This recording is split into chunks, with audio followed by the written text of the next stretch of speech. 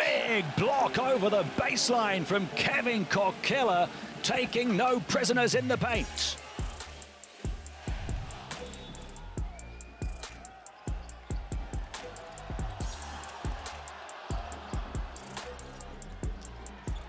Bouncing his way inside Jeremy Morgan with the rack attack. Right, that's a fine play by Morgan.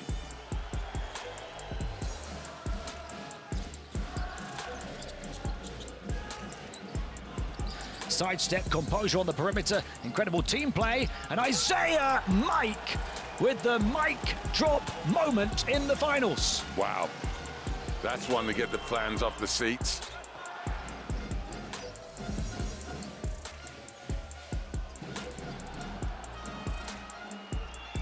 And Simon with a statement sending jam that Paris are right there in the rearview mirror.